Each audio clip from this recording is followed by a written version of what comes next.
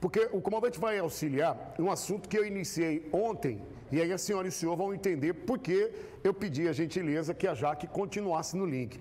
Ontem nós mostramos um trabalhador que foi atingido de uma forma violenta enquanto trabalhava. Um coletor de lixo, um amigo que trabalha na função de gari. A senhora está vendo o momento que ele está na traseira do caminhão e esse carro, seria um Celta, atinge as pernas do gari. Atingiram. Ontem ainda a gente tratava desse assunto e o motorista, ele, ele inclusive havia indícios de que o motorista haveria consumido bebida alcoólica. Foram algumas das informações pontuadas no programa de ontem. Aí, agora você entende por que eu pedi que a Jaque permanecesse no link. Pode voltar com a Jaque. Já que eu queria que você atualizasse o quadro clínico desse profissional que trabalha e teve as pernas brutalmente atingidas por esse veículo. Qual é a situação desse trabalhador e do motorista que foi o responsável? Pop, o Emanuel, né, que é esse gari de 33 anos, ele segue internado no Hospital Regional lá de Rondonópolis. Ele precisou passar por um procedimento cirúrgico e, infelizmente, teve a perna esquerda aí amputada nesse procedimento cirúrgico.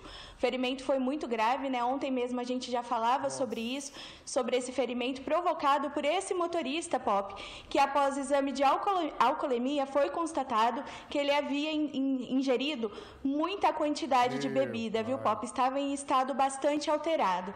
Ele passou por uma audiência de custódia ontem, só que devido à gravidade desse caso e de todas as consequências, essa audiência de custódia foi interrompida e deve ser retomada hoje. Ele segue preso aí no município de Jaciara, aguardando essa audiência de custódia, Pop. E se ele for solto durante a audiência de custódias, nós só vamos estar incentivando a mais pessoas irresponsáveis de beber, encher de cachaça e pegar o volante. Deveria, de verdade, ele permanecer preso. Eu vou chamar a matéria, comandante. É porque um trabalhador vai ficar impossibilitado de continuar levando sustento através do teu trabalho para a família. E não foi por um incidente, não. Foi por uma irresponsabilidade. Eu não tinha feito essa afirmativa porque eu não tinha acesso ao teste que ele fez. E agora você, nossa representante do jornalismo em primavera, afirma que após o teste foi confirmado, ele bebeu e muito. Poxa, então que ele preste toda assistência, inclusive financeira. Pode falar, Jaque, pode falar. Pode falar. Pop, segundo informações dele mesmo, né, em entrevista ali que ele fez com a polícia, ele, era mora... ele é morador aqui de Primavera do Leste, ingeriu bebida aqui em Primavera do Leste, saiu dirigindo e foi parar em Jaciara. E a distância, viu, Pop, é bastante grande, né? Digamos assim que, por sorte, ele não causou um acidente Ainda muito maior. pior, né? Infelizmente é um trabalhador, o Emanuel, de 33 anos, mais uma vítima aí dessa combinação, né? Álcool mais volante. Mas eu vou pedir uma última gentileza antes de você sair do link. No programa de amanhã, tão logo aconteça a audiência de custódia desse, desse, desse rapaz que estava alcoolizado, eu quero sim a participação sua amanhã no nosso programa, atualizando. Então, repito, vou chamar a tua matéria, esse que ocasionou esse acidente, que amputou a perna do trabalhador, continua preso, mas não aconteceu audiência de custódia. Eu estou pedindo que você participe do programa de amanhã para pontuar com a audiência. Pós audiência de custódia, ele continua preso ou está na casa dele bebendo sabe-se lá o quê? Play neles.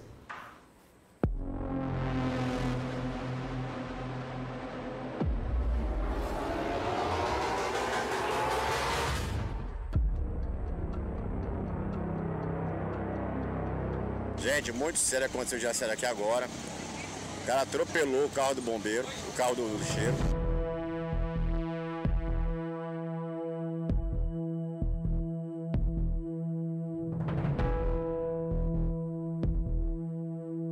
Emanuel Messias Lourenço, de 33 anos, Gari, é mais uma vítima da combinação do consumo excessivo de álcool e direção.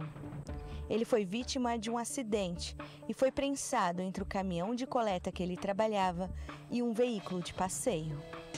Oh, sacanagem, sem polícia, polícia, sem bombeiro, sem ninguém para fazer atendimento, só a comunidade atendendo. É uma pura sacanagem. A polícia não vem, o cara tá dentro do carro, alcoolizado e drogado. Imagens de câmeras de segurança mostra o momento exato do acidente. Pelas imagens, é possível ver que Emanuel aparece andando à frente do caminhão coletor de lixo. Ele se aproxima da traseira do veículo para colocar os sacos de lixo. Momento em que o veículo Corsa de cor prata bate na traseira, derruba o gari e o prensa entre o caminhão e o veículo, causando sérias fraturas nas pernas do trabalhador. O carro era dirigido por Marco Antônio Moraes Reitz, de 50 anos, e segundo o boletim de ocorrência, estava em visível estado de embriaguez, o que foi comprovado por teste de alcoolemia. Ele foi encaminhado para a delegacia, onde a polícia descobriu que ele também não tinha carteira de habilitação. O Gari Emanuel Messias foi socorrido pelo SAMU e encaminhado a uma unidade de saúde, de onde foi transferido para o Hospital Regional de Rondonópolis. Passou por um procedimento cirúrgico e teve a perna esquerda amputada. O motorista Marco Antônio foi submetido à audiência de custódia no dia 3 de janeiro, mas devido à complexidade do caso, a audiência precisou ser interrompida e deve ser retomada neste dia 4 de janeiro. Ele segue preso na delegacia de Jaciara. Bom, nós, o nosso programa vai continuar acompanhando. Se o senhor viu antes da matéria iniciar, eu pedi à nossa jornalista da TV Cidade Verde de Primavera, que faz a cobertura desse assunto, que no programa de amanhã, acontecendo a audiência de custódia, que informe a nossa audiência. Se o motorista confirmado, esse, esse ser humano aí, confirmado que é, é, ele mantém preso, ou ele vai ser colocado em liberdade.